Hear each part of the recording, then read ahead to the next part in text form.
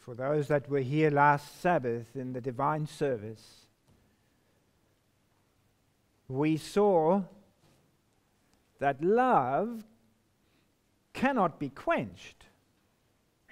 Yet, the love of many grows cold.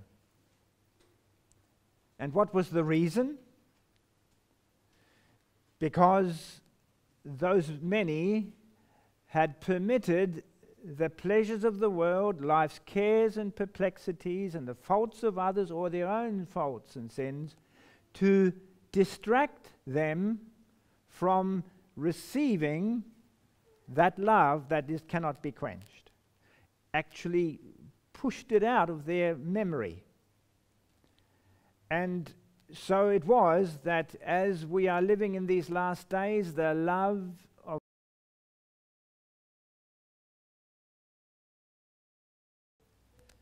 And as a consequence, the church that Jesus addresses in Laodicea, in Revelation, the church of Laodicea, they are lukewarm. Their love has grown to that condition of lukewarmness. No hot love anymore. And so it is that in our time in which we live, we need to admire the love giver. This is what will hold us in that love. To see that love and to let it burn within our hearts. And so it is this hour that we want to spend another beautiful time of worship to admire this lawgiver, this love giver, another aspect of this awesome God whom we revere. And um, this aspect is connected in the words of Christ when he spoke in Matthew 24 and said, The love of many grows cold.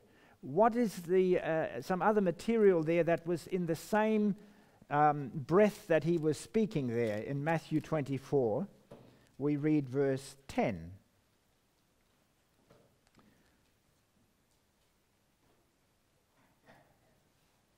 And it says in verse 10 of Matthew 24, and then shall many be offended and shall betray one another and shall hate one another, and many false prophets shall arise and shall deceive many, and because iniquity shall abound, the love of many shall wax cold.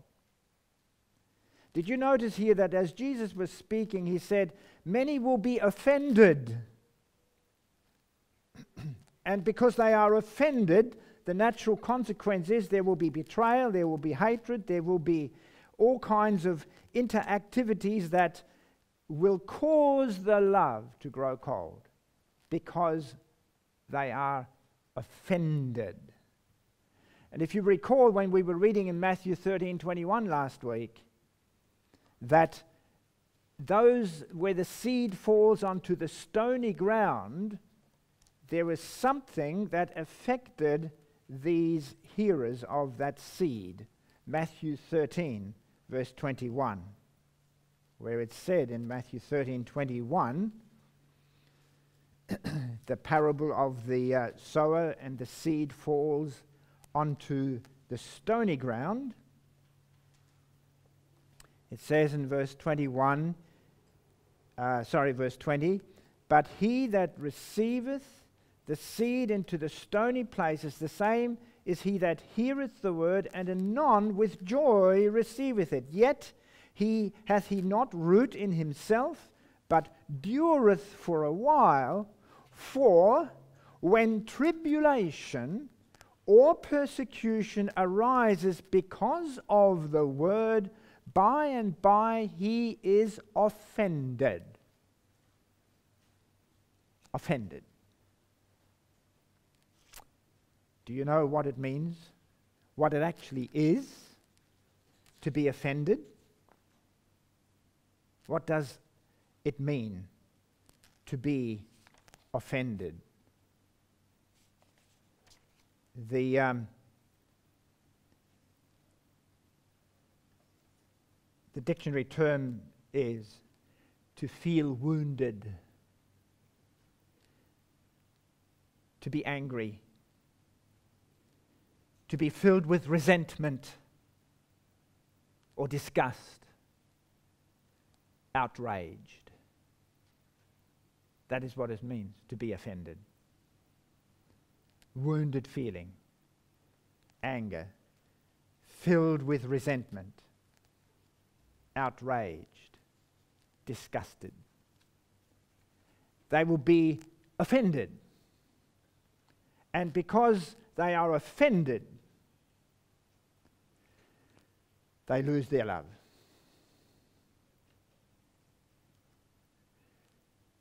The love that has its roots in God cannot be offended. Remember 1 John 4:16, God is love. And I want to spend time with you this morning to contemplate that God who is love that cannot be offended. To understand why it is that love, which is God, does not become offended. God's character, his nature, is love. And how do you actually define that love, that character? There is a statement in the Bible that describes, or rather, there is a story in the Bible that describes the character of God. It's there in the Hebrew sanctuary. The mercy seat is part of the Ark of the Covenant, which has in it the Ten Commandments. God sits upon his throne, which is typified in the Old Testament as the throne of the law and of love. It's inseparable. And indeed, if you read Review and Herald, March 15, 1906, Review and Herald, March 15, 1906, in paragraph 20, it says, God's law is the transcript of his character. God is love. And those Ten Commandments is a transcript of his character. So, what do, do the Ten Commandments represent? Love. The Ten Commandments are a transcript of his character, which is love. So, if you want to understand God's love, it is the Ten Commandments. That's something hard to get people's head around. Because the Ten Commandments are always looked upon as rules and laws. And yes, it is. But we interpret it as a legalistic uh, exercise instead of what God really is in those Ten Commandments. And we want to understand God's character, God's love, the Ten Commandments. Jesus understood, and look what he says in Matthew 22. Remember, Jesus came here to convey to us God's character. In Matthew 22, reading verses 35 to 39, where the lawyer comes to him.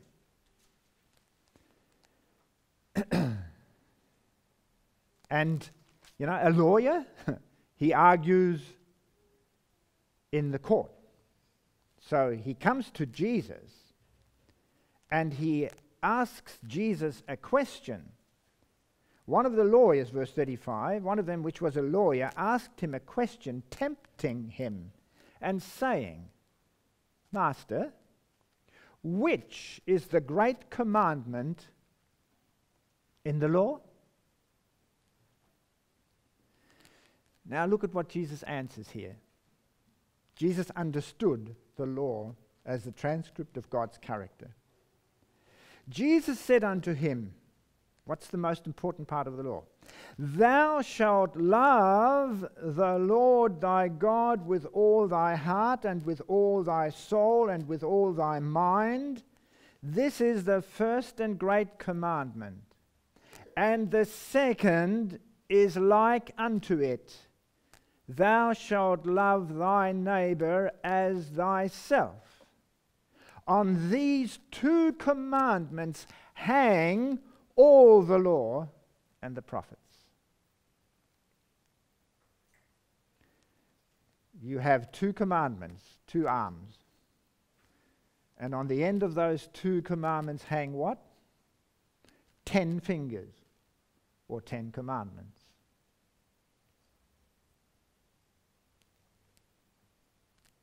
Jesus, threw a light upon the mind of this lawyer, to show him that the Ten Commandments, a transcript of God's character, are love.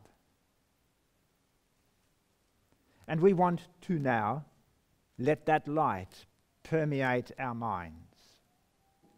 The first four commandments in Exodus chapter 20, you have to do, it has to do with loving God. And the last six has to do with loving our neighbor as ourselves.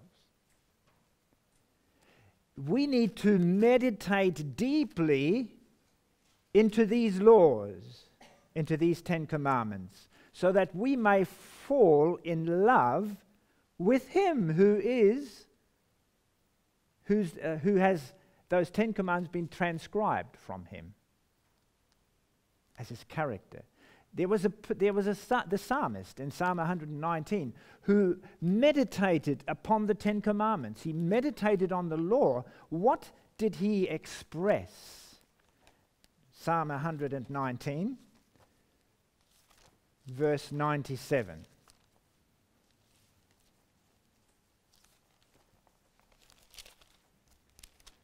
Psalm 119, verse 97. Here he is. Oh, how love I thy law! It is my meditation all the day.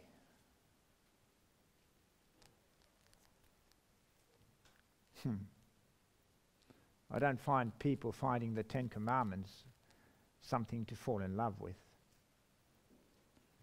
In fact, it puts shudders down people's spine because the law condemns them.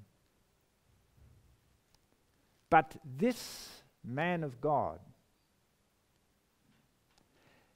meditated and found them oh, something to love. Oh, how love. Now, when somebody says, oh, whoa, oh, how love I thy law. It is my meditation all the day. Is it really such a wonderful meditation? It is a transcript of God's character. It is a transcript of His glory, which is His love.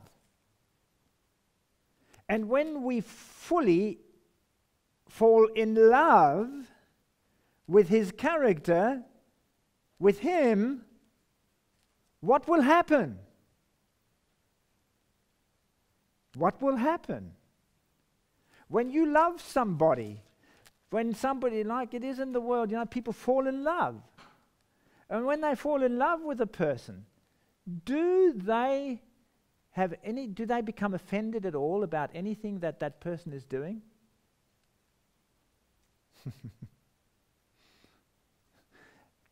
when you fall in love, you see only good.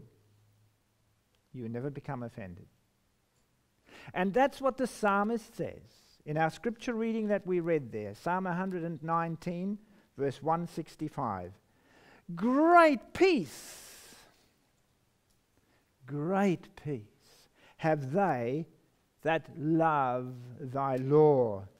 And how much? Nothing shall offend them. Now, I want you to ask yourself the question this morning Do you become offended?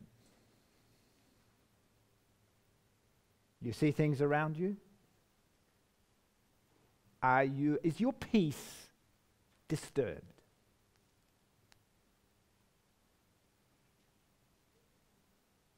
Are you offended at different things in the church, in the family, with your husband, with your wife? What does that tell you? I woke up in the morning and the Lord gave me this. Have a look, John. Are you offended? Great peace have they that love thy law, and nothing shall offend them. What did the Lord tell me? If I become offended, I don't love the law.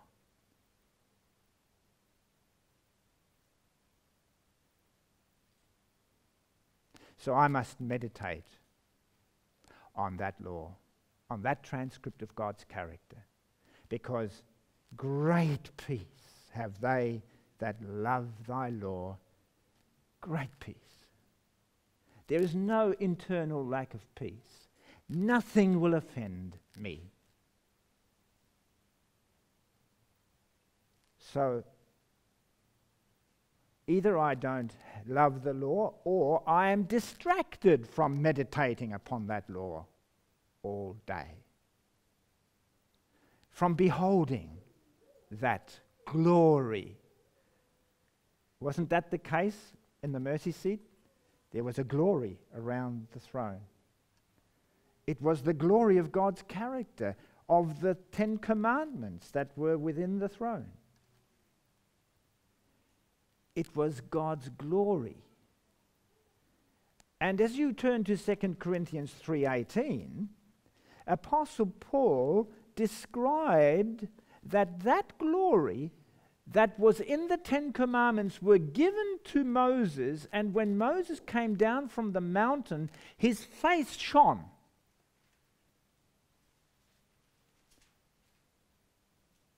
and the people had to do do what they had to put a veil over Moses' face because they were blinded by that brightness.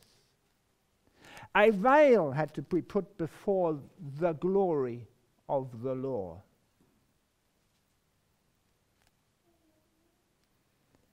And here is the description there in 2 Corinthians 3 where he describes that.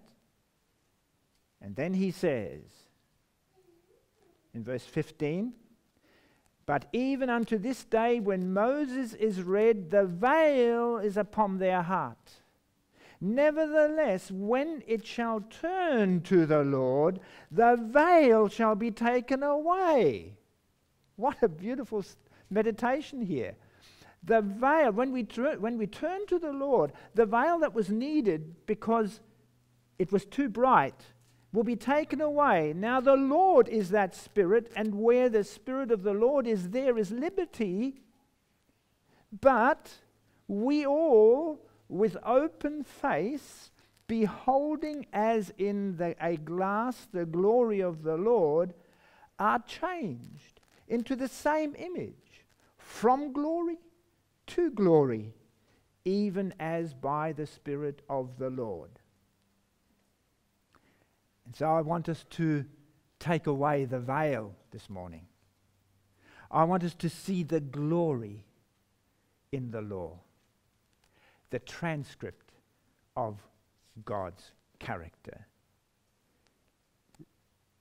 let us stop to take away the veil from the law and behold the glory in it.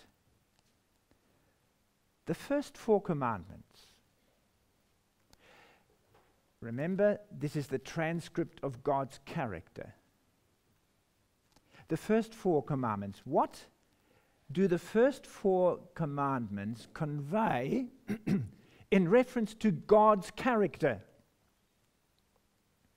Remember, we are to love God with all our hearts. That's the, the first four commandments. That applies to us. But what about God, who, who is the actual lawgiver? That those first four commandments reveal something about his character. What is there in him that pertains to those first four commandments? he first reveals what that means in the first three commandments. Let's go to Exodus 20 and explore God in his love in reference to this. Exodus chapter 20.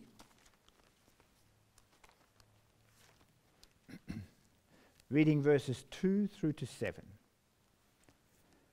I am the Lord thy God, which have brought thee out of the land of Egypt, out of the house of bondage. Thou shalt have no other gods before me. Thou shalt not make unto thee any graven image or any likeness of anything that is in heaven above, or that is in the earth beneath, or that is in the water under the earth. Thou shalt not bow down thyself to them, nor serve them.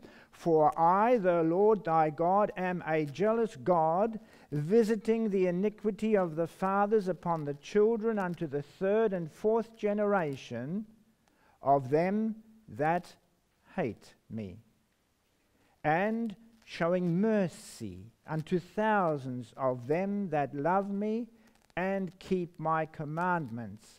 Thou shalt not take the name of the Lord thy God in vain, for the Lord will not hold him guiltless that taketh his name in vain. What personality of love is revealed here. About himself, applying that law of those first four commandments in reference to himself. I am the Lord thy God.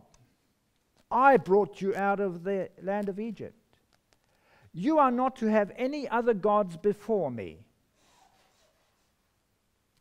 You are not to take my name in vain. You are not to worship other gods. What is actually shining out of this about God's personality and character? Let's just go over to Isaiah 45. Isaiah 45, verse 5 and 6.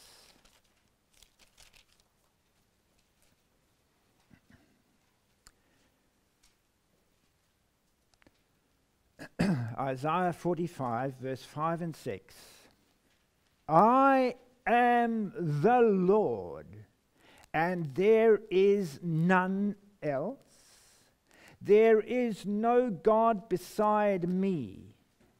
I girded thee, though thou hast not known me, that they may know from the rising of the sun and from the west that there is none beside me. I am the Lord, and there is none else.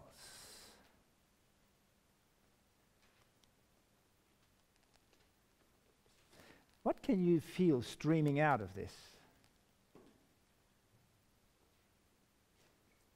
Don't look upon it in terms of, the, of, of, our, you know, of our attitude toward God at the moment. Look at God's attitude about himself.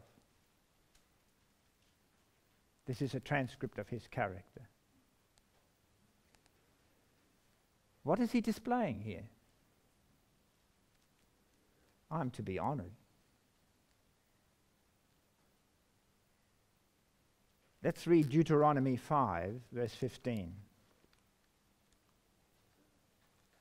Deuteronomy 5, verse 15.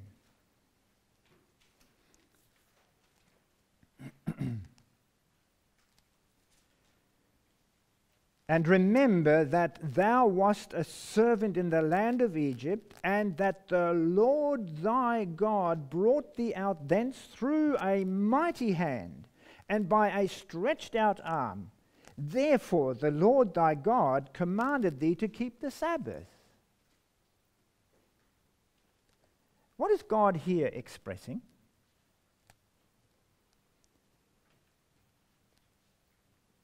Is it not that he has a rightful self respect. Think about it. Is there anybody else like me? Look what I have done. Look at my power. Look at my capability. What was he describing about himself? He had a rightful self respect. Is that correct? A rightful self respect. He described his self respect that is requested, that you cannot make any other gods, and you do not take my name in vain. I am to be respected. How foolish of anybody to go along and worship me through images. You know, who do you think I am? That's the sort of mental exercise for us to consider. Does God have a healthy self respect?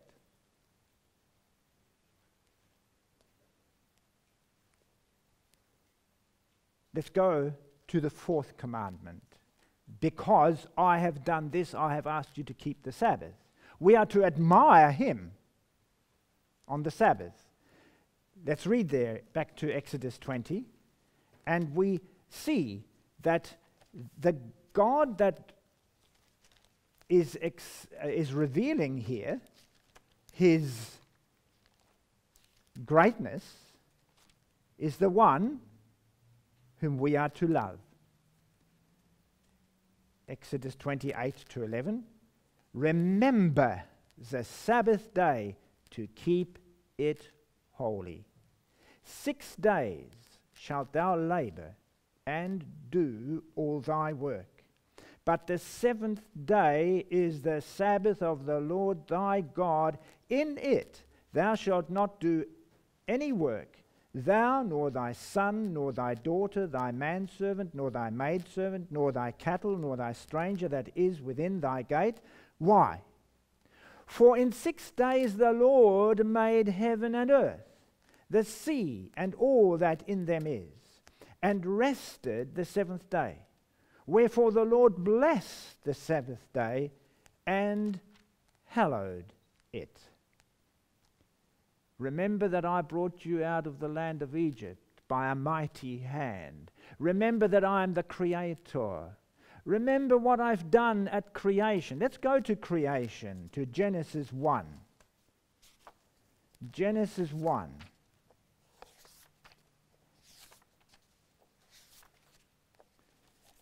And we read there in verse 28.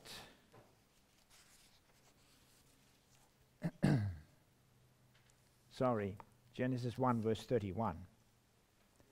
And then 2, verse 1 and 2. And God saw everything that He had made. Get the picture? God has just been doing a wonderful work. This planet, this jewel of, the, of, this, uh, of this consternation.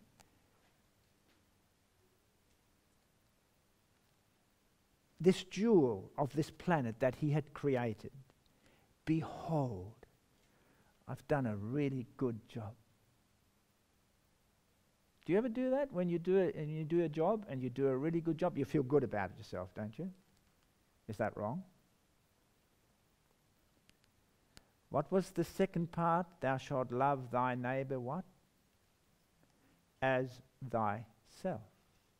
How can you love your neighbor if you don't have a healthy self respect? How can you? Half the reason why people have so much difficulty is because they don't respect themselves. And they do all sorts of crazy things. God looked at his creation and he said, Wow, this is beautiful. And a proud man would say, Stop being proud of yourself. But he had a rightful reason for being happy.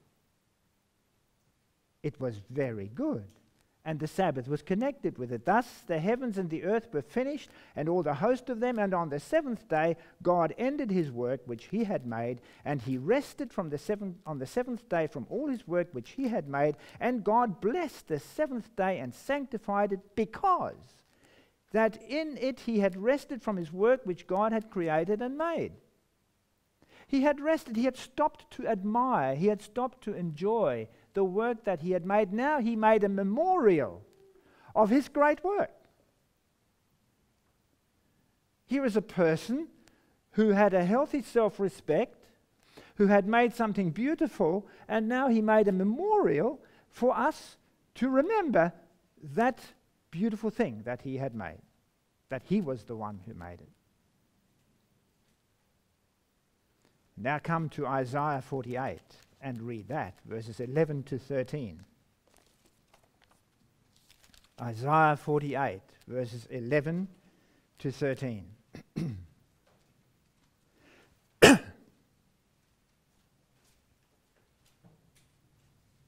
here he is speaking of his healthy self respect. He's speaking about how he had dealt with Israel, not only now after Egypt, but now many years after in the time of Babylon. Isaiah 48, he says, For my own sake, even for my own sake will I do it. For how should my name be polluted? And I shall not give my glory unto another. Hearken unto me, O Jacob and Israel, my call. I am he. I am the first, I also am the last. Mine hand also hath laid the foundation of the earth, and my right hand hath spanned the heavens. When I call unto them, they stand up together. He's reminding, look at my capability. I will have no one else to take away. I will not give my glory to anyone else. This is my glory. This is rightfully mine. And for my sake do I do the things that I do. How careful we must be not to misinterpret God. This is simply God having a healthy self respect. This is what is God's love. He does love himself. And if you don't have that knowledge of God, you do not know how he loves his neighbor. We'll follow that carefully through.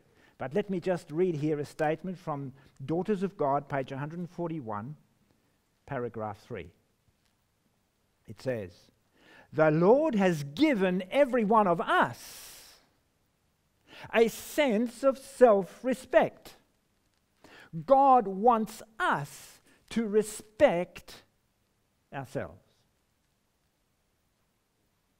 If He made us in His image, if He, if he made us in His image, then the self respect we should have is the self respect He has.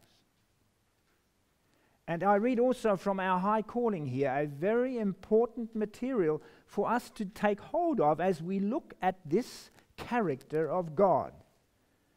Page 143 of our high calling, I read here in paragraph 4.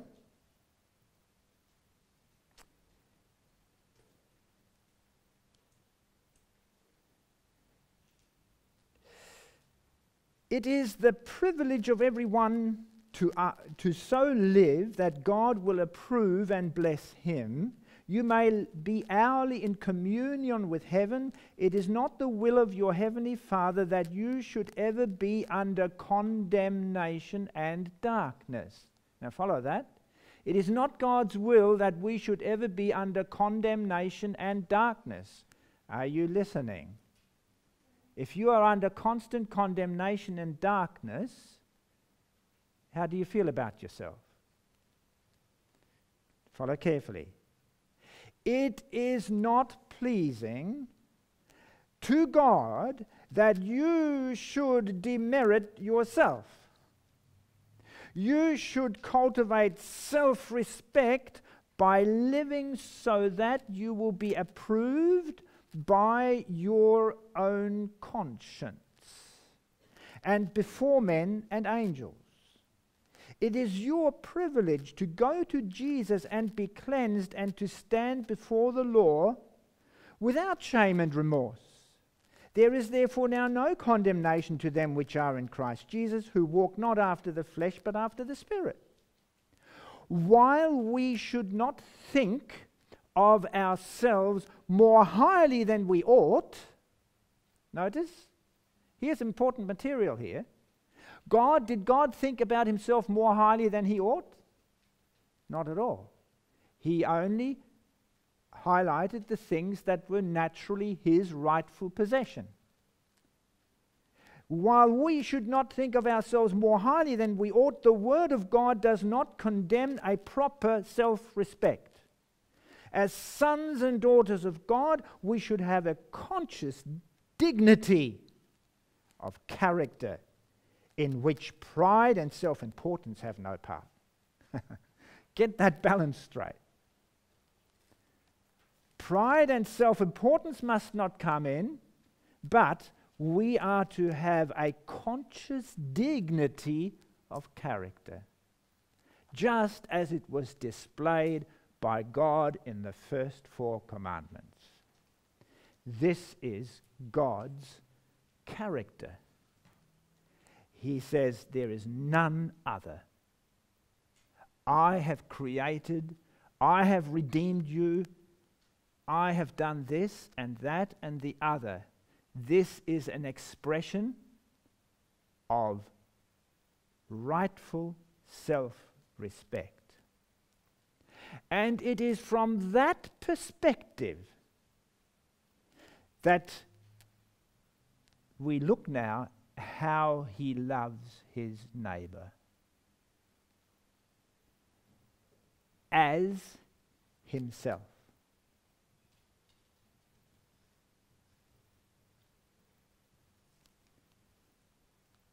His neighbor as himself. He created man. How did he create man according to Genesis 1:28? You want to read it? Genesis 1:28.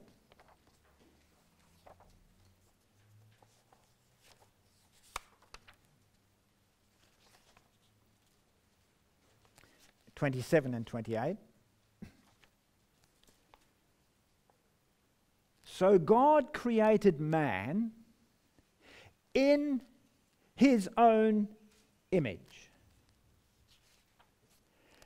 In the image of God created he him, male and female created he them.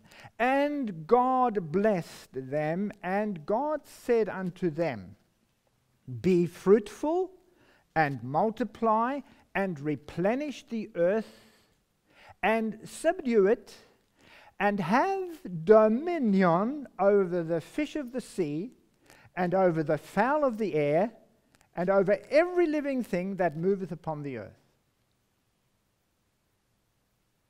Stop to think about this. The psalmist thought about this and he just went, wow. What did he say? Go to Psalms 8. God had made this planet, it was His. He made this planet. And He said to the, his neighbor, the man he created, his neighbor, he said, Now, you take care of this it's yours, it is your dominion. Psalm 8, verses 4 to 6. And before I read verse 4, we go read verse 1. It says, O Lord, our Lord, how excellent is thy name in all the earth, who has set thy glory above the heavens. He, he just goes, Oh, what are you? Oh, this is overwhelming.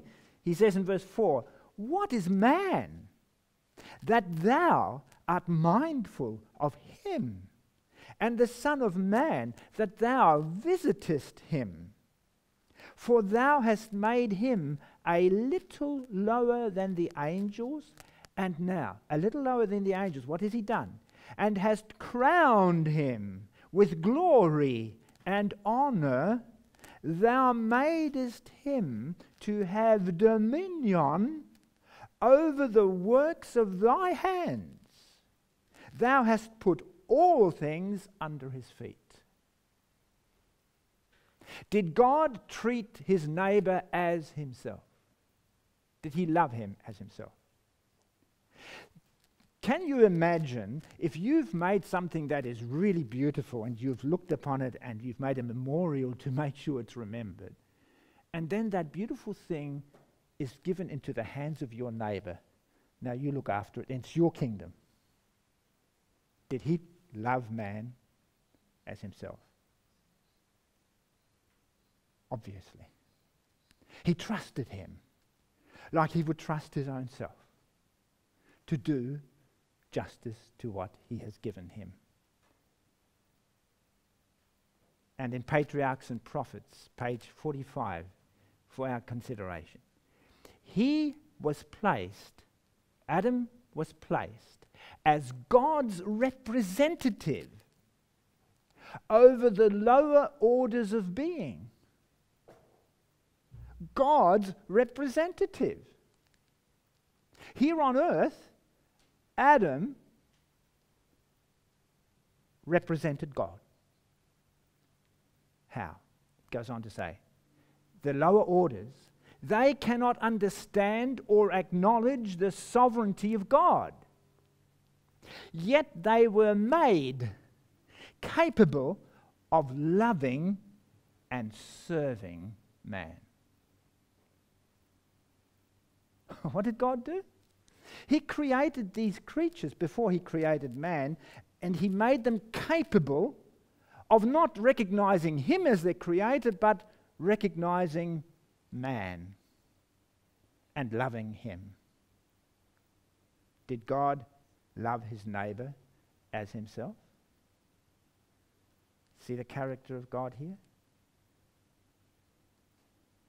And then having now demonstrated the self respect of God and seeing that God indeed loves his neighbor as he loves himself, look at the, all the last six commandments in regards to his character toward his neighbor. Remember the fifth commandment. How does that relate to God toward his neighbor? honor your father and your mother. What is written about Jesus? He, God, became a son of God.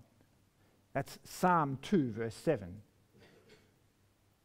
The decree that he made Thou art my son, this day have I begotten thee. So the personality of the Father and the Son being exactly the same, but one demonstrated the attitude of parental submission.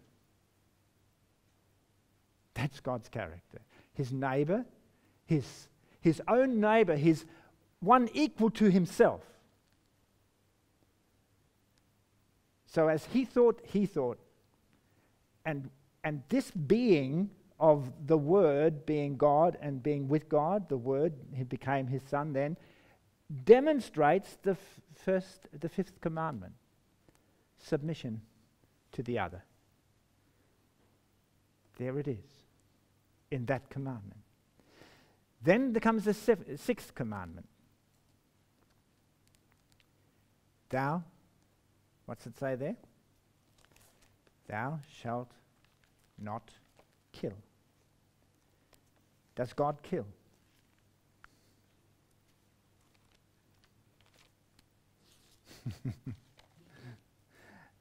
People have told me the Old Testament is full of God killing. Terrible. Does God kill? All right. Thou shalt not kill. Is this God's character? Does he kill? Well, in Christ Object Lessons, page 84, it says, God does not destroy any man. We've been through this before in our studies. When man is killed, who killed him? Man is destroying himself. And man destroys each other. Sin destroys itself. That's what happens. And that's what will be demonstrated at the very last judgment that God destroys no man. God is a true personality of that commandment. He loves his neighbor as himself. And then comes the other one Thou shalt not commit adultery. Does God have such a love towards the church that although it commits adultery, he doesn't? You know this statement very well. How has the faithful city become an harlot? You read in Ezekiel about the harlotry that is described against himself, and he keeps on putting up with it. He's not going to let go. Come to Jeremiah chapter 3. He does not commit adultery. Jeremiah 3, verse 14. Here was this, this vow that he had made to Israel and they, while they broke it, he didn't. Verse 14 Turn, O backsliding children, saith the Lord, for I am married unto you. And I will take you one of a city and two of a family, and I will bring you to Zion. And I will give you pastors according to mine heart, which shall feed you with knowledge and understanding okay, my, my bride, my wife, you've really lost it. You've really gone out and played a harlot. But I'm going to pick you back. I'm going to bring you one of a city and two of a family, and I'm going, I'm married to you, don't forget. No matter what we've done, remember, friendship with the world is enmity with God. You adulterers and adulteresses, that's written in James, know you not that the friendship of the world is enmity with God. So when God's people are fraternizing with the world, He doesn't commit adultery, they do. He wants them back. Beautiful character. This is God loving. And then, thou shalt not steal. Does God steal? In fact, when he sent Jesus to this earth, look at the experience of Jesus in Psalm 69, verse 4. He, he doesn't want to steal anything of anybody, it's not his nature. So, but, you know, if somebody's got something against him, well, then what does he say? Psalm 69, verse 4. It says, They that hate me without a cause are more than the hairs of mine head. They that would destroy me, being mine enemies wrongfully, are mighty. Then I restored that which I took not away. He did the opposite to stealing. He actually gave to the people something which he never took away from them in the first place. God character is transcribed in the Ten Commandments. And here, thou shalt not steal was one of them. And then, verse 16 of Exodus 20 thou shalt not bear false witness against thy neighbor. False witness. Did God ever lie? He cannot lie. And in fact, the scripture says, God who cannot lie has made a double covenant, a double promise. He spoke once as a promise, and then he doubled it with another something that he cannot lie. And finally, thou shalt not covet thy neighbour's house, thou shalt not covet thy neighbour's wife, nor his manservant, nor his maidservant. Thou shalt not covet. What about that? Did God covet? Philippians 2, verse 6 and 7. What did God do? He thought it not robbery to be equal with God, but made himself of no reputation. Did he covet the position that he was in? No. He made himself of no reputation. He gave up his position so that he could come close to his neighbor. you know, the more I meditate on this, I just want to break out and cry. What a God we have. He is full of love, and his Ten Commandments are descriptions of his love. This is God's love for his neighbor. And when his neighbor sinned against him, how did he respond? Remember? Great peace have they that love thy law, and nothing shall offend them. Did he respond to the sinner as somebody offended? Let's have a look at Lucifer. Lucifer raised himself against God. And the first thing that God did was show him his love. I want to read it to you. This is one of the most beautiful representations of how Lucifer, Satan himself, was given a loving opportunity. He although he had already gone and sowed the poison against God, uh, God said, Okay, this poor creature of mine, this wonderful being that I created in all his glory, is really benighted. I've got to show him something. And I'm reading here from Patriarchs and Prophets, page 36. It's a most wonderful representation of what God did it said, The king of the universe summoned, but just read the first par- the paragraph before that, to dispute the supremacy of the Son of God, thus impeaching the wisdom and love of the Creator, had become the purpose of the Prince of Angels. So, what did God do? The King of the universe summoned their heavenly hosts before him, that in their presence he might set forth the true position of his Son and show the relation he sustained to all created beings. The Son of God shared the Father's throne, and the glory of eternal, self existent one encircled both. About the throne gathered the holy angels, a vast, unnumbered throng. Just imagine, he calls this vast, unnumbered throng to gather around his throne, and Lucifer is among them. 10,000 times 10,000 and thousands of thousands. The most exalted angels, as ministers and subjects, rejoicing in the light that fell upon them from the presence of the deity. Before the assembled inhabitants of heaven, the king declared that none but Christ, the only begotten of God, could fully enter into his purposes and to him it was committed to execute the mighty counsels of his will. The Son of God had wrought the Father's will in the creation of all the hosts of heaven, and to him, as well as to God, their homage and allegiance were due.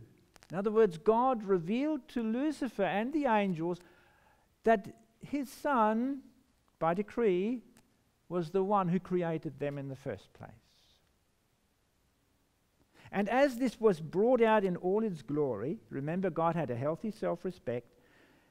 Christ was still to exercise divine power in the creation of the earth and its inhabitants. But in all this, he would not seek power or exaltation for himself, contrary to God's plan, but would exalt the Father's glory and execute his purposes and beneficence and love. The angels joyfully acknowledged the supremacy of Christ and, prostrating themselves before him, poured out their love and adoration. Lucifer bowed with them. But in his heart, there was a strange, fierce conflict. Truth, justice, and loyalty were struggling against envy and jealousy. The influence of the holy angels seemed for a time to carry him with them. As songs of praise ascended in melodious strains, swelled by thousands of glad voices, the spirit of evil seemed vanquished. What's that? The spirit of e- evil was being vanquished in his heart. God had reached him by doing this. Unutterable love thrilled his entire being. His soul went out in harmony with the sinless worshippers in love to the Father and the Son. There was his opportunity. But when it was all over, he didn't choose to pursue the love that welled up in his heart. He returned to his plan, and he became the arch enemy of God. But that's how God deals with the offending material. He is not offended, he reveals the love that he has. Adam, when Adam did that terrible thing of the opposite to what God had told him not to eat of that tree, what did God do? Did he go, oh, I'm never going to talk to that fellow again? Was he outraged? Was he um, uh, offended? No. In the cool of the evening, he came. I want to talk to you. Adam, where are you? He knew what Adam had done. He was not offended. He came to show him, to love him, his neighbor, as himself. And how did he show it? Genesis 3:15. I will put enmity between the serpent seed and the woman's seed.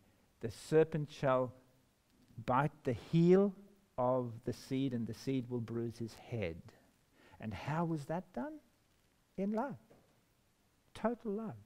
The gospel of Jesus is, a, is, is God's response to sin. He does not become offended. Great love Great peace have they that love thy law. Nothing shall offend them. As you look at this, isn't this amazing? Then Judas comes along. Judas, that, that disciple, that sneak that was trying to destroy the trust of the disciples. Jesus constantly had to warn him and show him. And there he was on the evening that he had already decided to, to give Christ over to the Pharisees to deceive Jesus there, what did Jesus, who knew exactly what he was doing, how did Jesus meet him? It's beautifully portrayed. I want to read it. In Desire of Ages, page 655, meditate upon the love and the unoffended God when sin has taken hold of people um, he treats his neighbor as himself. Desire of Ages, page 655. Here is Judas. Very interesting meditation again. It says, um, page 65, paragraph 4, it says, Though Jesus knew Judas from the beginning, though he knew him from the beginning, he washed his feet. And the betrayer was privileged to unite with Christ in partaking of the sacrament. A long suffering Saviour held out every inducement for the sinner to receive him, to repent, and to be cleansed from the defilement of sin. This example is for us. When we suppose one to be in error and sin, we are not to divorce ourselves from him. Did you catch that? Did Jesus divorce himself from Judas? No, he did not. When we suppose that one to be in error and sin, we are not to divorce ourselves from him. By no careless separation are we to leave him in a, a prey to temptation and drive up him upon Satan's battleground. Say, are you listening? Great peace have they that love thy law, and nothing shall offend them. Have you been sinned against by somebody? And you really feel offended. What was that? Outraged, angry, wounded. How many in their wounded state and offensive, offended nature will divorce one another, will separate from one another and drive each other into Satan's temptations. Jesus didn't do that. In fact, when he washed Judas's feet, look at this beautiful statement here. Jesus knew it, and here he was. Jesus alone could read his secret. Jesus could read his secret, Judas's secret. Yet he did not expose him. What was that? He did not expose Judas. Jesus hungered for his soul. He felt for him such a burden as for Jerusalem when he wept over the doomed city. His heart was crying, How can I give thee up? The constraining power of that love the constraining power of that love was felt by Judas. When the Saviour's hands were bathing those soiled feet and wiping them with the towel, the heart of Judas thrilled through and through with the impulse then and there to confess his sin.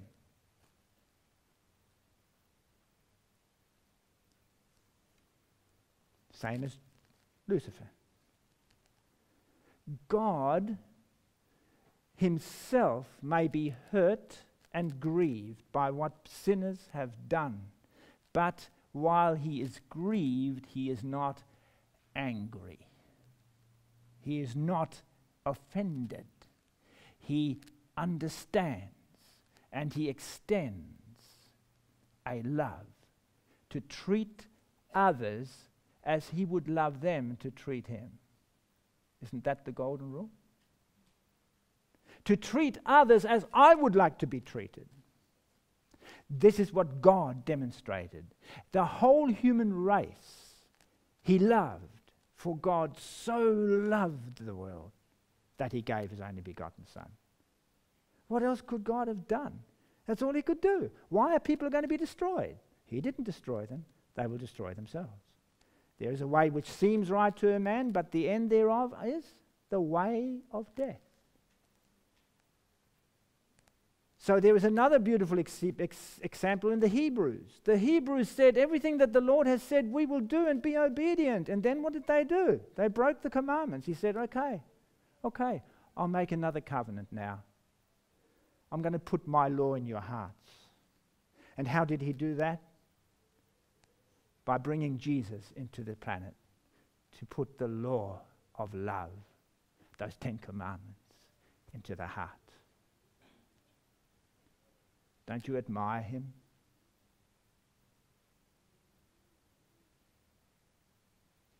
Is he not a wonderful God? Is not his law wonderful? Uh, away with the legalistic mentality. The veil is removed as you gaze upon this character. It was never part of God's nature to be legalistic. Never. Instead, when his law of love was broken, his love covered a multitude of sins. Are you prepared to open your heart to that? 1 Peter 4 8. Let's read it. 1 Peter chapter 4, verse 8.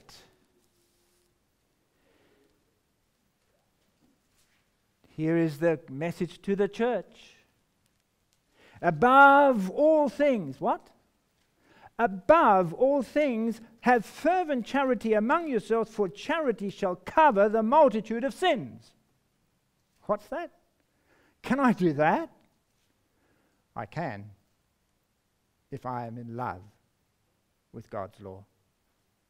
Strange contradiction of terms. The law says you've just sinned, you you've got to get punished. No. It's the law of love. Do unto my neighbor as I would want them to do to me. It's the law of love that says, I will love and respect myself enough so that I will treat my sinning brother or sister in the love that God has.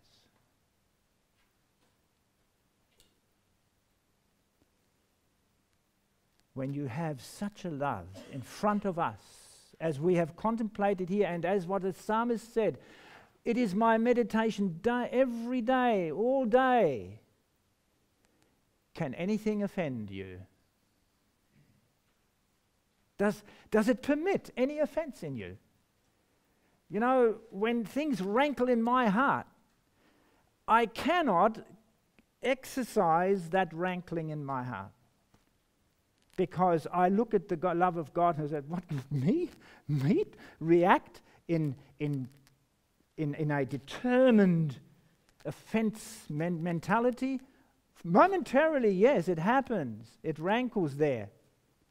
But it's not going to retain, be retained there because I can't. I look at the love and how dare I? What is it to be offended? Wounded feeling, anger, filled with resentment, disgust, outraged. Did God ever demonstrate that? The law is a transcript of God's character. He fulfilled his part. So, all of us, we who may fall in love with that God, with that law, are to do our part as he did. I don't need to lay any exactions on anybody around me, none whatsoever. I just kindly do what he did. I treat everybody the way God treats them. And when they sin against me, what do I do? I do just what God did. Simple. And that's my responsibility. Isn't that the description of Judas, of, of uh, Joseph? He was maligned, he was mistreated, but he always only responded in doing his job right. And by doing his job the way that God wanted him to do it, the most disastrous influences of his brothers was recovered. How we have lost sight of a loving God. Great peace have they that love thy law, and nothing shall offend them. Amen. Let us kneel in prayer. Loving eternal Father, indeed we kneel before you and own that we have not grasped this beautiful love in the past as we should. We thank you again for giving us this opportunity here to acknowledge, to own up, to take responsibility, and to permit your amazing treatment of us, to behold that treatment and be changed into the same image. Father, forgive us for neglecting to keep you ever before us. Forgive us for the things we have been doing according to this very hymn, that we have not known thee as we ought, and feared thee, and loved thee as we ought, or served thee. And now, Father, when shall we know thee? And we realize that Father, that all these things that we have failed in can overwhelm us to an extent that we will not respect ourselves. But we thank you that you respected us. And we see that because you respect us, that you love us as you love yourself, that you came down in the presence of Jesus himself and demonstrated this amazing love and you are still there in the work of the judgment before it's all too late. Lord, as we've just been singing, may we day by day prepare to see thy face and serve thee there. We thank you, you are giving us our opportunities, like you have given every angel, every human being throughout history. We thank you that Jesus does not judge us, as he himself has said. He does not judge us, he does not come to condemn us. If our heart condemn us, you are greater than our heart. Help us to open our heart, to let you totally take over, to know that we can expose our inner soul to you and show a love that is portrayed in those beautiful Ten Commandments. Once again, forgive us and help us now to take hold of this work without delay because we have seen that we can be saved by your love. As the veil has been removed from the law, Help us to cease legalistic expectations, but show the character that you are, the glory manifested. We thank you, Lord, in Jesus' precious name. Amen.